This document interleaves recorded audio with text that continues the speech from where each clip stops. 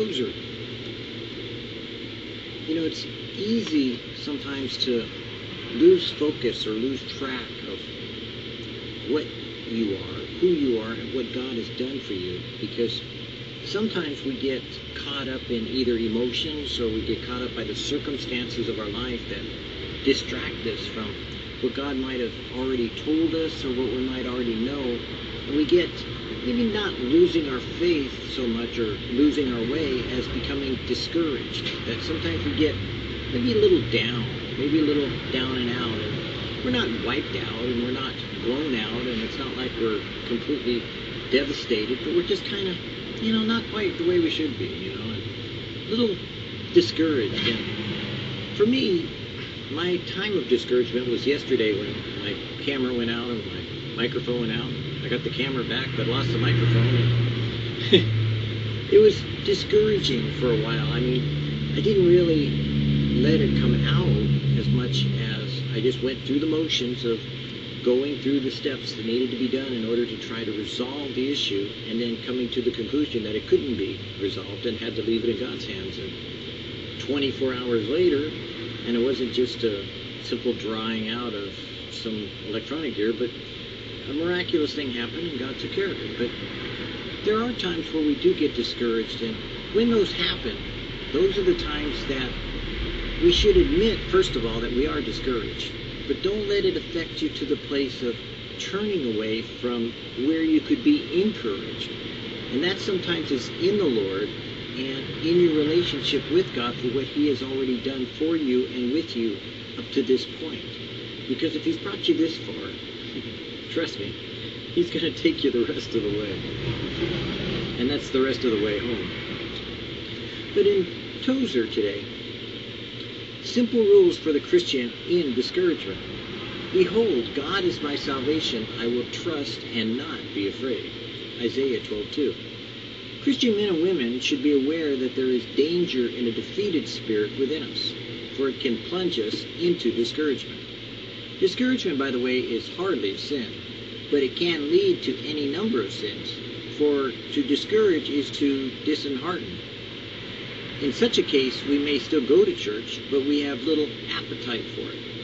Nothing seems to mean quite the same anymore to us, and nothing means anything to us as it once did. Hymns are dull and tasteless. Worship is dry and boring. We know the same old songs. We go through the same old motions. And the lessons and the speeches and the sermons are just a bore because we already know it and we've been there before. I want to give you some rules for the time of discouragement because you will go through a time of discouraging, discouragement, and being discouraged. First, do not accept the judgment of your own heart about the matter.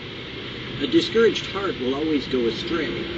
So do not think about yourself the way you feel about yourself, because what God says about you is more important than what you feel about you. God says He loves you, and that's good enough for, frankly, salvation to be accomplished in you. Instead, go to God and Jesus. God loves you, and Jesus loves you enough to have died for you. He thought you were worth something. Remember that discouraged Gideon was hiding until God sought him out and said, Get up, thou mighty man of God. The second rule is this make no important decisions while you are discouraged. Don't resign your job. Don't sidestep or step outside of it. But don't sell your property or get down before God and ask Him to take the defeat. Don't resign your job. Don't sell your property. Don't do anything foolish. But Get down before God and talk to Him. Go to God and ask Him to take the defeat out of your spirit and reverses out of your heart so you don't be led by the emotion of the circumstance you're feeling, but rather the devotion that you have with God. Finally, go to the Bible and read the promises of God. Read and claim the promises until your heart beats with joy. The joy of His promises, because what He has said will come true for you. And you know it's true because it has before, and it shall again. Remember that the living God is everything. Our victory cannot enrich God, and our defeat cannot impoverish Him. Life on the side where the promises of God are bright. if we live with the Lord as we talk to Him, then we are encouraged by Him and not by the circumstances only, but rather we take the circumstances to Him and He brings His wisdom to it so we can see through our way to be discouraged for a time, but then eventually come out with the encouragement that God has given us.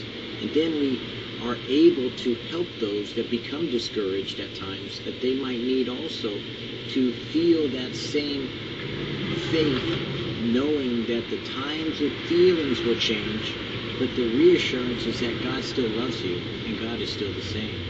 And He hasn't abandoned you. You just feel different today than you did yesterday.